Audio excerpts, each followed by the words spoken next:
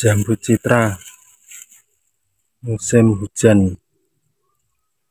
Ini sebenarnya besar ini. Ini seperti jambu apa ya? Sugar barbie. Seperti jambu sugar barbie tapi ini citra. Bibirnya masih nguncup. Memang kalau begini hampir sama bahkan sulit untuk dibedakan ya.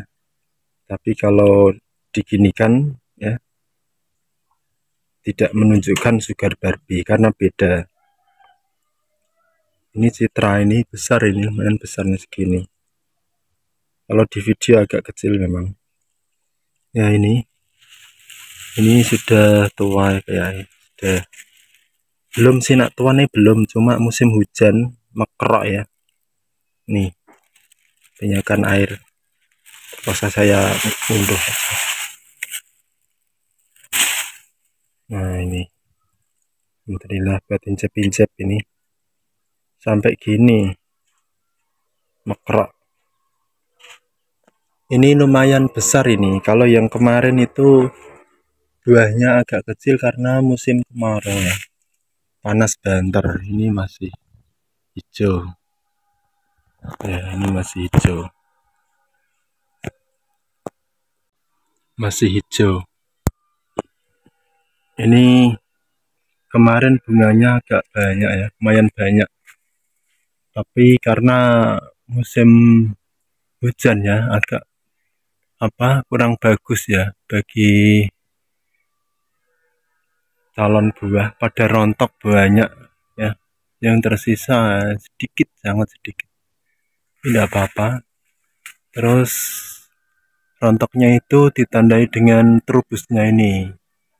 Trubusnya daun-daun baru daun-daun muda. Biasa memang gitu kalau apa berbunga terus ada trubus itu biasanya yang kalah itu bunganya pada rontok. Ya.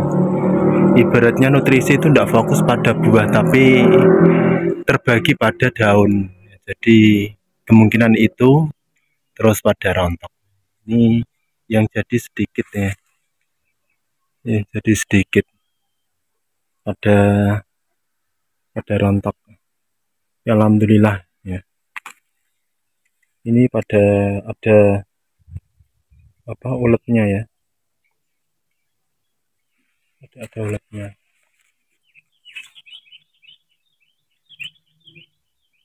Alhamdulillah buat injap-injap ini ini seperti dalhari ya ada seratnya ini. Ada otot berotot ya. Tapi ini citra citra ya citra besar ini. Ini kalau di video agak kecil memang tapi kalau realnya itu lumayan besar ini.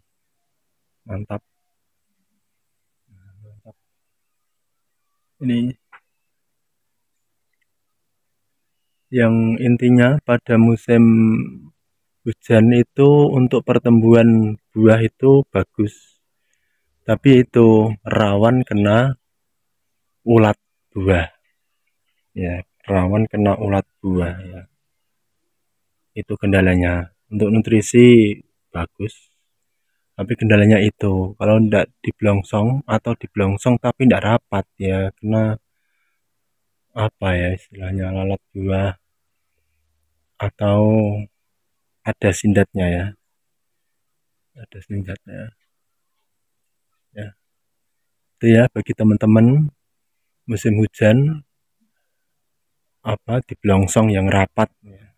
terutama yang atas jangan sampai kena air atau air bisa masuk mengenai buah karena itu bisa berakibat fatal.